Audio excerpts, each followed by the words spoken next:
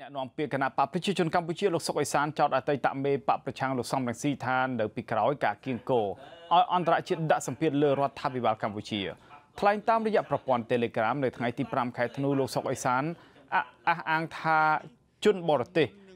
មួយចំនួនបានព្រួតគ្នារំលោភលើឯករាជ្យភាពជាតិនិងអធិបតេយ្យភាពជាតិកម្ពុជាហើយប្រើគ្រប់មធ្យោបាយក្នុងការគៀបសង្កត់និងគម្រាមកំហែងមកលើរដ្ឋាភិបាលកម្ពុជា លោកសុកអេសានអះអាងថាគុំសង្ឃឹមថាព្រួតគ្នាយ៉ាងច្រើនបែបនេះនឹងអាចផ្លាស់ប្ដូរចំហររបស់រាជរដ្ឋាភិបាលកម្ពុជាឲ្យបោះបង់នីតិរដ្ឋនិងលទ្ធិប្រជាធិបតេយ្យបានឲ្យសោះ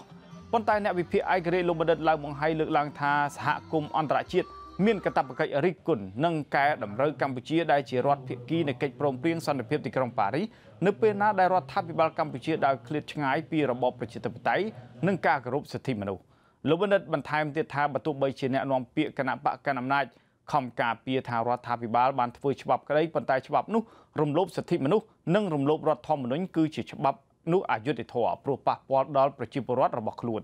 លោកបណ្ឌិតឡៅបង្ហៃបន្តថាការចេញមុខថ្កោលទោសរិះគន់លើរដ្ឋាភិបាលកម្ពុជានេះមិនមែនទាំងបរទេសនោះទេ ធ្វើទៅតាមការអុចអារបស់អតីតមេបកប្រឆាំងនោះឡើយពលគឺធ្វើទៅតាមច្បាប់និងទៅតាមទម្លាប់ដែលកន្លងមក សូម្បីតែប្រទេសថៃនិងប្រទេសភូមាក្តីក៏ទទួលរងនឹងការរិះគន់និងដាក់ទណ្ឌកម្មសេដ្ឋកិច្ចនេះដែរនៅពេលដែលប្រទេសទាំងនោះរំលោភសិទ្ធិមនុស្សនិងដើរឃ្លាតឆ្ងាយពីគន្លងប្រជាធិបតេយ្យ